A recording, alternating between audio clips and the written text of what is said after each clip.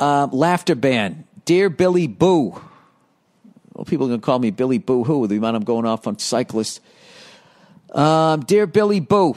I like Bill, Billy Boo Hoo. A few months ago, a reader wrote into the podcast about censorship and some crazy stuff that was happening at their kid's school. Last week, I got a letter from my kid's school. It was basically an outline of what kids and parents should expect going into the new school year.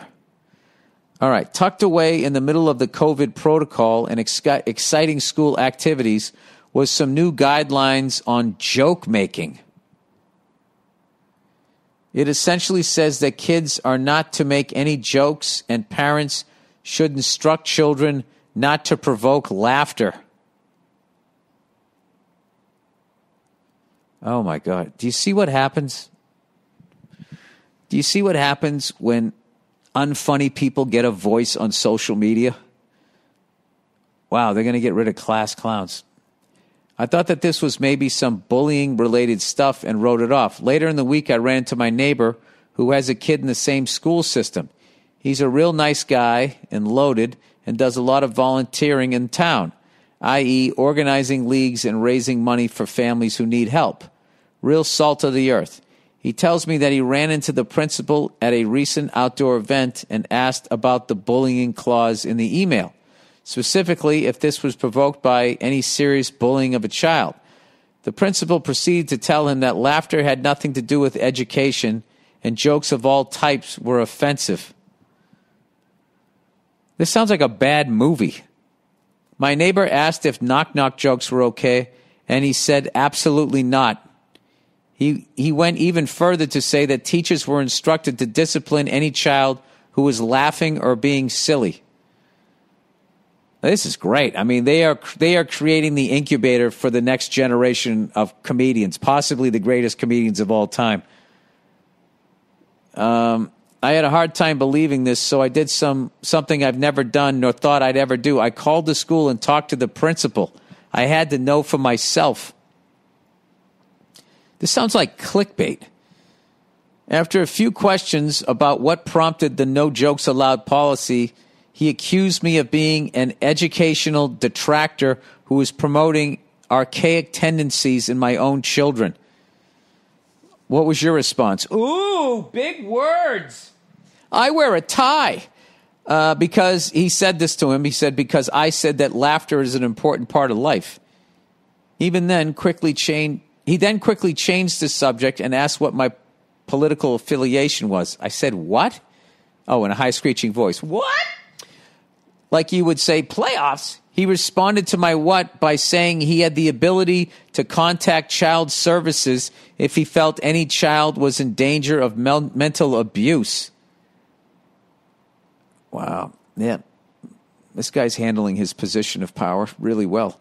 Needless to say, my blood was boiling and I hung up the phone. I have a few ideas about how to handle this. I don't want to stir things up, but also it seems unwise to let someone threaten me with child services and call me archaic for wanting my son to be able to laugh and not be a drone while in school. How would you handle this? Um, all right. How do I handle this? Uh, I don't know. How do you handle this? How how how how do you do this now with like all of these fucking people out there that just ruin all of this shit? I don't know. I mean, you can't get your kid kicked out of school. I mean, this sounds like a, a great clickbait piece for uh, a newspaper or something, but that always seems like a bitchy move to me to just fucking rat somebody out like that. Um, I don't know. You know what I would actually do? I think I might go above the guy's head and just say that I was simply I that you have somebody who's wildly out of control with his own power. I simply asked what you know why my kid couldn't laugh in school, and he threatened to call Child Protective Services. First of all, dude, I, I wouldn't. I mean, it's the only thing that should make you mad is the threat of that that, that he actually is just threatening you. But what are they going to do? They're not going to do anything. They can't take your kids away because you questioned why my son can't laugh at school. He's going to have no bruises or anything like that. But it's that's that is a full on fucking crazy person. Is this real? Are you just, are you just trolling me? I can't believe this is true. If this is if this is a joke, it's really well written. Ah, I got to look it up. All right, I'm ta- I'm you fished me. I'm I'm fucking taking the bait here. Laughter ban in schools. Speech code of the month. Drexel University's harassment policy bans inconsiderate jokes and inappro- inappropriate, inappropriately, Jesus Christ, I'm done. Inappropriately directed laughter. wow. Wow. Mom, I got suspended for three days for inappropriately directed laughter. But where were you directing this inappropriate laughter? I don't know. I turned my head in the face of the janitor. I was looking away from the fat kid, and it turns out he was missing a leg. I was I was trapped in a triangle. Um, Tajanica laughter epidemic. What is this? The Tang Tang Tanganyika laughter epidemic of 1962 was an outbreak of mass hysteria. I'm on Wikipedia now. Or mass psychogenic illness, rumored to have occurred in or near the village of Kashasha. Nothing I've read in the last 20 minutes has seemed real. On the western coast of Lake Victoria in Tanganyika which was once united with Zanzibar. This is none of this is true. Became the modern nation of Tanzania, near the border of Uganda. History: The laughter epidemic of what do they have? Rabies. On January 31st, 1962, at a mission-run boarding school for girls in Kashasha. It started with three girls and spread throughout the school, affecting 95 of the 159 pupils. Uh, it's, it's the laughter epidemic, obviously a, a slang for whatever disease they had. Symptoms lasted from a few hours to 16 days. The teaching staff were unaffected and reported that students were unable to concentrate on their lessons. The schools closed on March 18th. The epidemic spread to somewhere else. The village where several women lived, mostly young villagers, had laughing attacks. All right, what happened? Did somebody light a giant fucking bong and the cloud went over the, over the this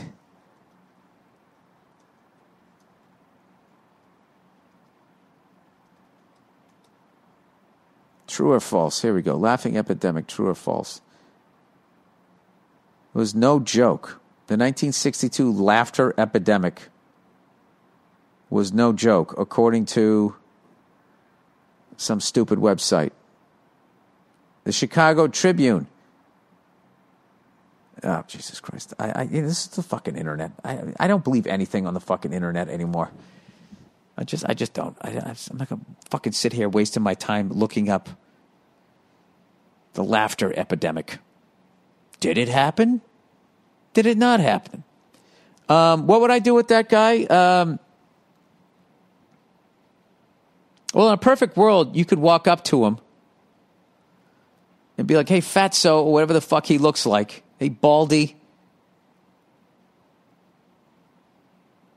You know, I would I would approach the guy and just be like, you know something? You threatened to call child services. You know, I, I got to be honest with you, dude. I, I I never do this. I would go above that guy's head, and I would I would file a complaint. And what's the worst that's going to happen? Your kid can't go to that fucking school. Fuck this guy. Fuck this guy. If this is actually real, fuck that guy. I would go above the guy's head and just say, you know, in a very calm way you know, I mean, that person should not have that job, nor should they ever have any power. Um, I'm trying to think what happened to that person as a kid. You know what I mean? had man boobs. It was shirts and skins in gym class, and had, they made him take his shirt off. Some sort of uh, What was that that that movie where they dumped the blood over the uh, the prom queen, Carrie? This guy had some Carrie shit happen to him. So now your kid can't have any joy. Um, yeah, I would go over his head. That's what the fuck I would do. I would I would not tolerate that. Um. Oh man, that reminds me of a landlord of mine that helped break into my apartment when I was on the road. They they were checking the smoke detectors, and I was on the road for three weeks, so they had the evidently the right to go into my apartment to make sure that there was no, uh, you know, there was nothing wrong with this. The, you know, the smoke detectors working because if they weren't, there was a fire that could affect the whole building.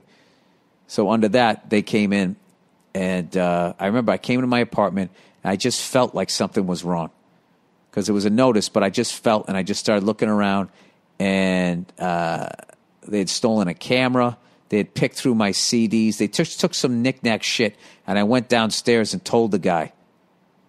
And the guy immediately goes, You know, I don't appreciate you coming down here accusing my staff of that. He immediately got defensive. And I was just like, You fucking idiot. Now I know you did it.